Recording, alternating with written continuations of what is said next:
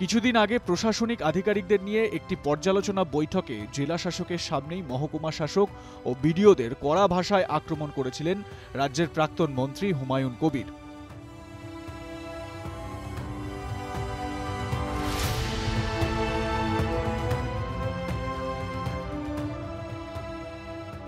মূলত জনসংযোগ না করা নিয়েই তাদের তিরস্কার করেন তিনি।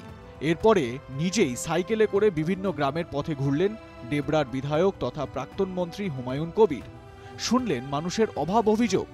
ছিলেন ব্লক সভাপতি বিবেকানন্দ মুখার্জি সহ অন্যান্যরা।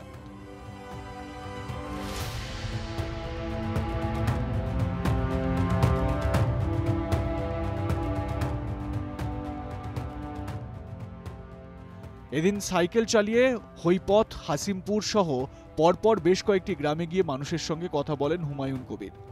সরকারি প্রকল্পে বাড়ি, লক্ষ্মীর ভাণ্ডার, বিধবা ভাতা সহ নানা সরকারি সুবিধা না পাওয়া নিয়ে তার সামনেই ক্ষোভ উগরে দেন এলাকাবাসী। তাদের প্রতিশ্রুতি দিয়ে আগামী দিনে তৃণমূলকে ভোট দেওয়ার বার্তা দেন তিনি।